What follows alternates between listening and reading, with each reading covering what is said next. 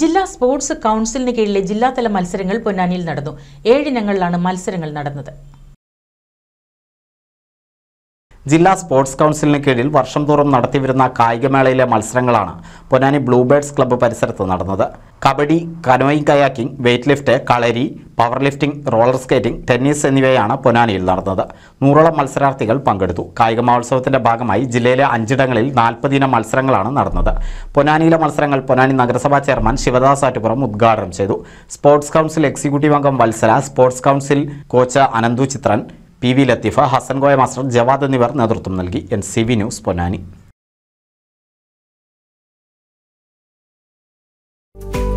കേരളത്തിലെ number one broadband cable T V network കമ്പനിയായ Kerala vision ഇന്ന് ഇന്ത്യയിലെ ആദ്യ പത്ത് ബ്രോഡ്ബാൻഡ് കേബിൾ ടി വി സേവനദാതാക്കളുടെ പട്ടികയിൽ ഇടം നേടിയിരിക്കുന്നു.